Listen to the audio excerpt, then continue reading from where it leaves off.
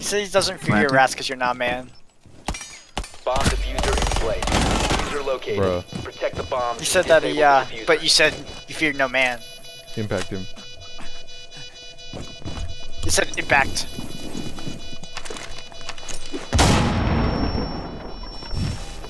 Tell him I just saw the worst BM kill I've ever seen in my life. Friendly disabled the defuser. Oh, I, I I think it was, and also he said uh, that he saw the most BM kill of his life. The worst BM kill. He said, uh, what's the BM kill, but also he doesn't give a shit.